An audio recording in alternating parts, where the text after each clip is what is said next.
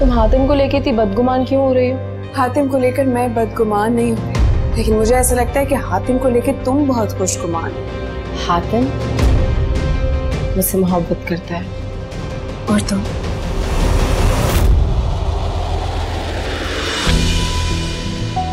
तो पता है तुम्हारे चेहरे से बिल्कुल नहीं लग रहा कि तुम्हारी शादी होने वाली है। तुम्हारी आँखों में नमी बहुत देर हो गई। अब कहने का बात गुजर गया है।